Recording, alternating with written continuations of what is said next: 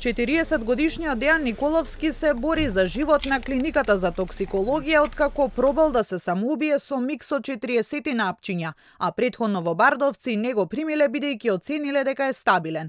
Ситуацијата кулминирала во петокот предпладне кога Дејан избегал од дома, па го нашле залутан во околината на Катланово.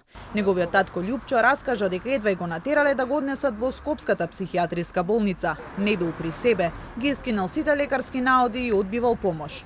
Со брза помош и полиција го однеле во Бардовци, но докторите одбиле да го хоспитализираат. Немате ништо, не сте уредни, ништо не му е, вика вака.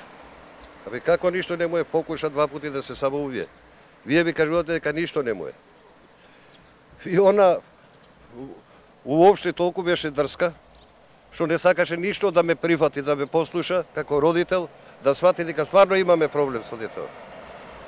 Едноставно, вратете се дома, земи си го, носи го дома. Неполни 12 часа од како се вратиле дома, се случил уште поголем шок. Како не ги испил, затворил вратата и си легнал. Паднал у несвес и кога дојдовме ние са бајлето, са бајлето, го најдовме у, на, на подот доле. Љупчо вели дека синот повеќе од 15 години се бори со шизофренија и други расстройства. Често бил агресивен и без контрола. Се лекувал и на други места, но вели никогаш не се соочил со ваков нехуман третман.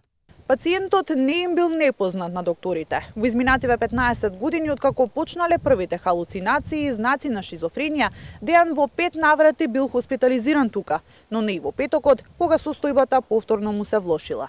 Директорот на болницата Кјамил Ковачи изјави дека пациентот не покажувал знаци на расстройства и немал потреба од прием. Во секој момент кога имал потреба, нашите служби, односно лекарите, когаш издеве во преслед и е примен пациентот кај нас, лекуван и пуштен на домашно лекување.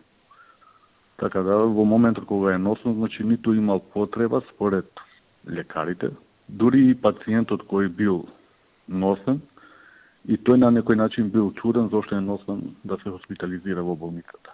Дејан веќе трет ден се лекува на клиниката за токсикологија. Во моментов тој е во стабилна состојба.